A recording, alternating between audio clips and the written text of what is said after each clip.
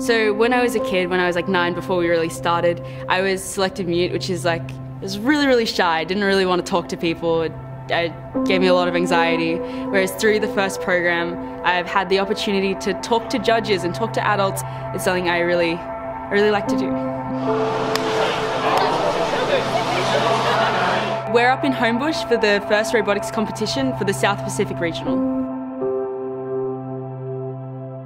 In First Robotics, you are given a set challenge at the beginning of a six week build season, and you build your robot for six weeks when you bag it up and send it away, and then you go and compete with multiple other teams from all over the world trying to get a spot in Houston. We are Komplete Kaos Inc. and we're from Helensburgh, which is about an hour and a half south of Sydney. Um, Helensburgh is like an old school mining town and it's really into like sports and like the coal mines and stuff.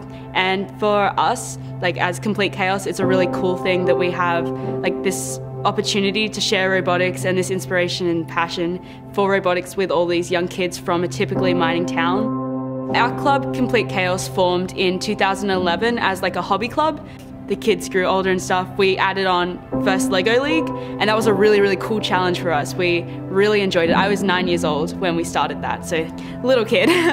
and we went, we went all over. We went to Spain and America for that. It was really, really fun. And then obviously as the students from that group grew older, we also added on top FRC, which is the higher level robots that we're doing here at this competition today.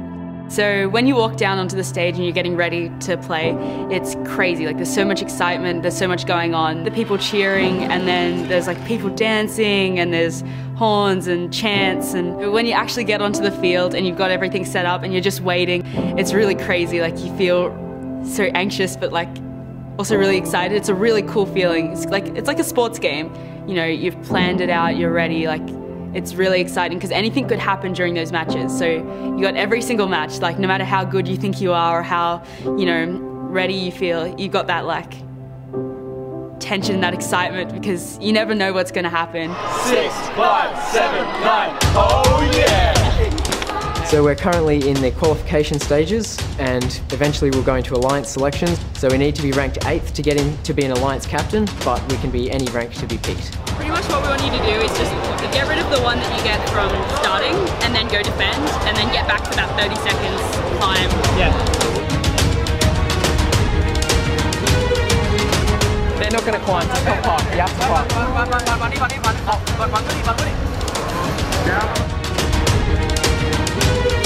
Unlucky. Oh well, what can we do? We must have got heaps of fouls. So we haven't made the top eight in this competition due to some uncontrollable factors. So now we're trying to shop around for teams that'll take us in for the playoffs. We are just wondering if there's something you want us to do for the next match as well. Um, Plus the last game you, you guys lost a lot of points. Yeah, the, the other team... Yeah, because I think there are two, two teams over there, right? Oh no, the other team, their radio fell out and so they were out of their frame perimeter. That's what the referee told us. So basically the way it works is the teams 1 to 8 can pick um, their two teams that they want to play with. And so we're talking to all the top teams to try and make sure that we get picked.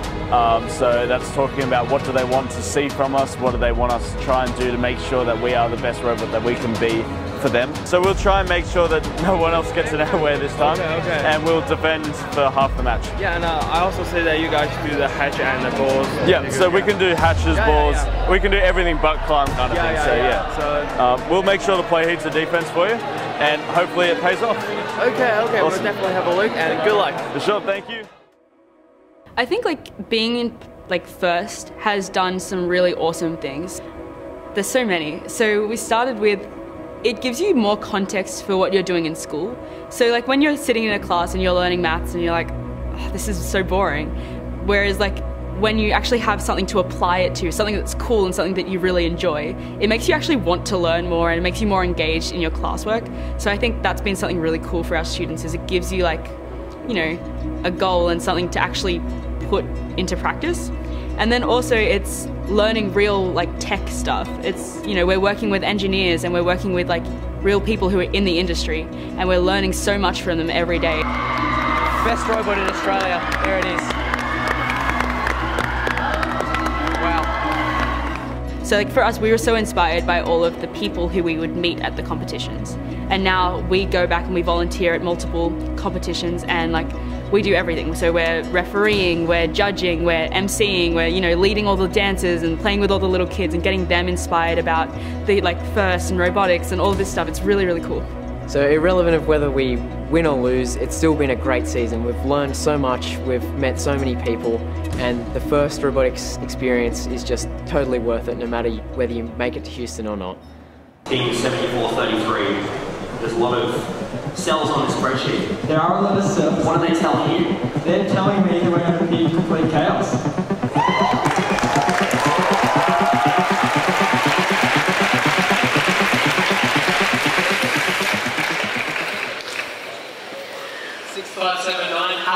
Graciously accept.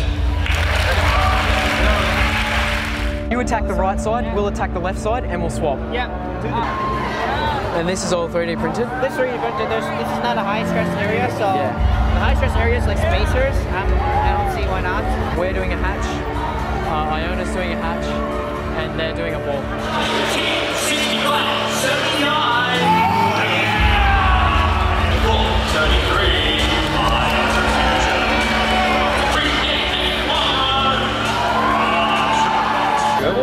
We're good. Alright, let's go. We got this.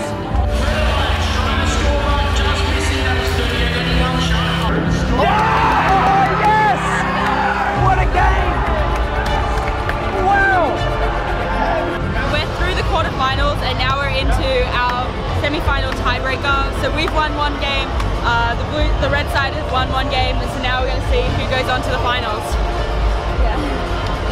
And what, what would it mean to you if you guys, if you guys won this one? Oh, it, it means we're going to the finals, which would be insane. Like it, oh, yeah, it's, it's really, really tense, scary. You just keep going balls, Jaya. Keep going balls. You've got it all day long. 449. You're coming for 5449. That's the way. Got it. You got it. Another ball. One more. One more. 30 seconds, guys. 30 seconds. Well done. Well done.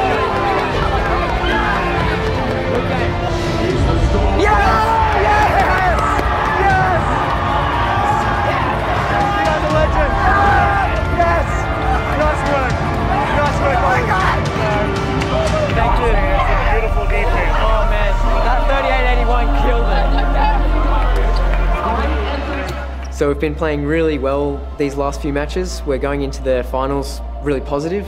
Um, we've got a really strong strategy, uh, amazing defense bot, and two that are really good at scoring points.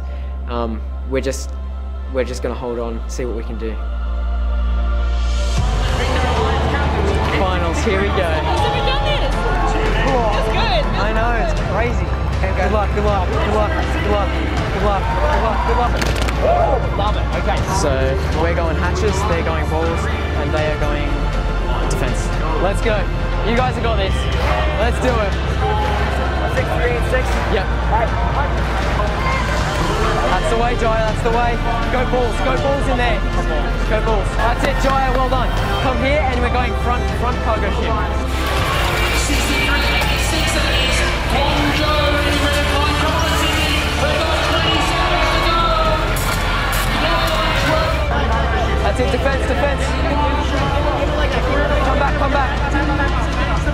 Go. Now. Now. Ball, ball, ball. You're, you're winning. You're winning. You're doing good. Drop it. No.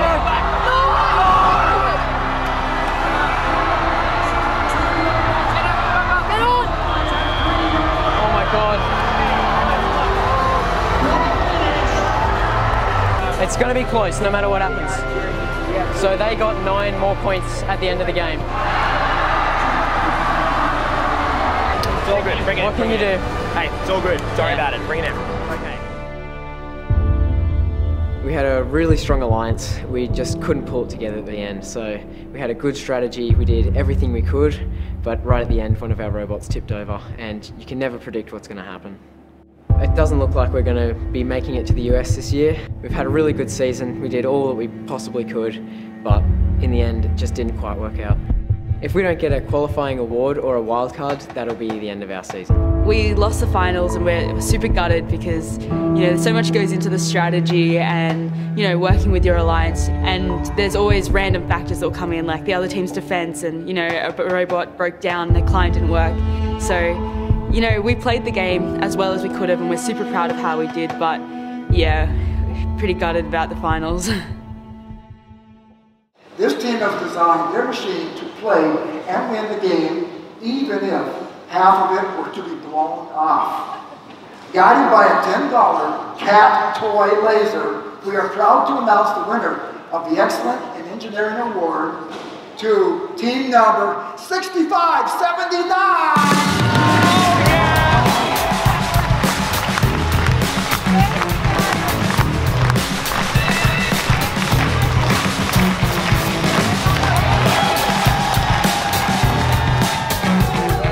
We can't believe it. We've just won the wild card and we're going through to the US. All of our hard work has finally paid off over the six week build season and the last week competition. We're finally going to Houston and we're going to compete with teams from all over the world now.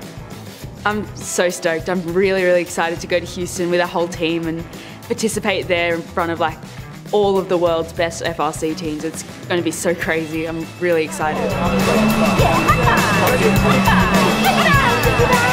สาม